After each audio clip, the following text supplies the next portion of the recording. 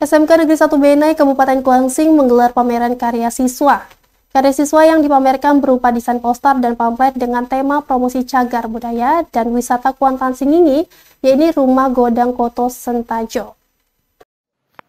Hasil karya siswa jurusan Desain Komunikasi Visual SMK Negeri 1 Bena ini dipamerkan di hadapan para siswa dan guru. Tujuannya agar siswa yang lain yang masuk di kelas 10 dan 11 termotivasi untuk membuat karya lebih baik. Karya desain poster ini merupakan tugas uji kompetensi keahlian bagi kelas 12 jurusan DKV dengan tema promosi cagar budaya Rumah Godang Koto Sentajo, Kecamatan Sentajo Raya, Kabupaten Kuansing. Karena desa Koto Sentajo masuk ke dalam 50 desa wisata terbaik dari Kementerian Pariwisata. Wakil Kepala Sekolah Bidang Humas SMK Negeri 1 Benai, Bobi Hendrawadi mengatakan saat ini pihaknya hanya memilih satu tema budaya untuk dipromosikan. Namun ke depan budaya dan wisata lain di Kuansing seperti pacu jalur dan air terjun akan turut dipromosikan. Agenda hari ini adalah pameran hasil karya kelas 3 DKP yang dibuat melalui UKK beberapa hari yang lalu.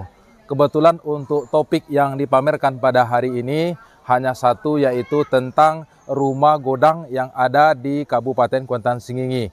Tidak tertutup kemungkinan beberapa tahun ke depan kita akan melebarkan sayap pameran ini bukan hanya rumah godang saja, tetapi kebudayaan-kebudayaan lain yang ada di Kabupaten Kuantan Singingi, misalnya event pacu jalur dan lain sebagainya.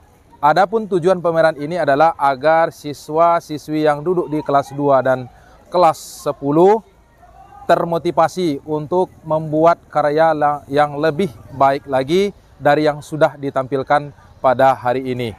Semoga siswa dan siswi SMK Negeri 1 Benai makin termotivasi untuk terus berinovasi demi kemajuan SMK Negeri 1 Benai di masa yang akan datang. Terima kasih. Melalui karya siswa ini, pihak sekolah ingin masyarakat luar daerah tidak hanya kenal Kuansing dengan pacu jalur semata, namun juga budaya dan tempat wisata lain yang ada di Kabupaten Kuansing. Dari Kabupaten Kuansing, Ivo Alidra, Ceria TV, melaporkan.